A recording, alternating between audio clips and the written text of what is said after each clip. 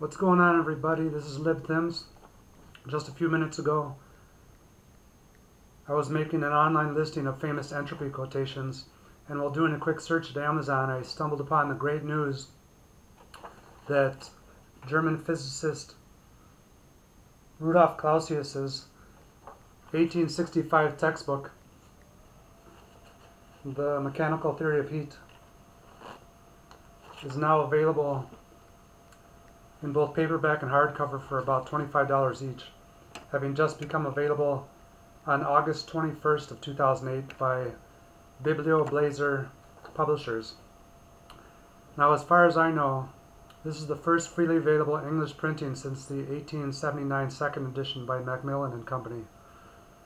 All in all, Clausius's Mechanical Theory of Heat is probably the greatest publication in science since English physicist Isaac Newton's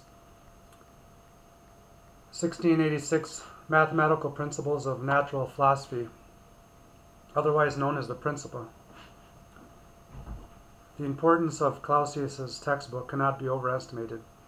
It single-handedly founded the science of thermodynamics, as well as seeded the formation of over a dozen schools of thermodynamics over the next hundred years to follow.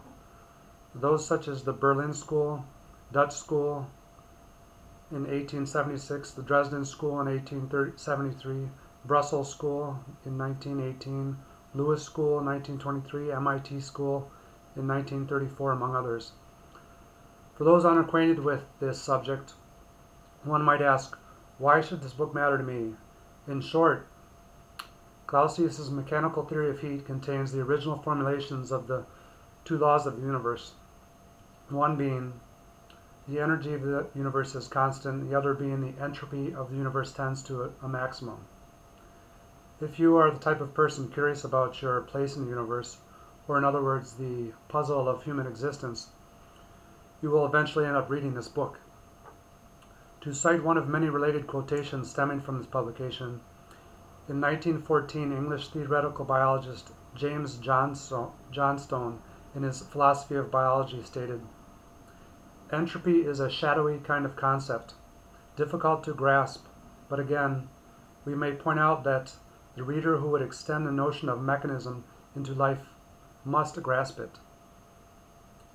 Similarly, those who have read Austrian physicist Erwin Schrödinger's very famous 1944 booklet, What is Life?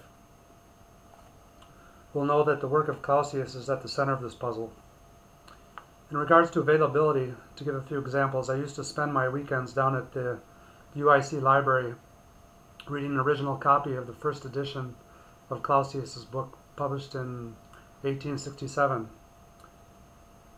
And I had to, actually while I was reading, I had to cut the pages to the latter half of the textbook as I read them.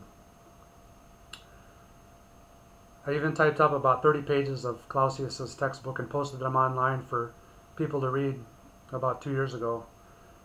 And about a year ago, I received a difficult to obtain original second edition copy for a cost of $550.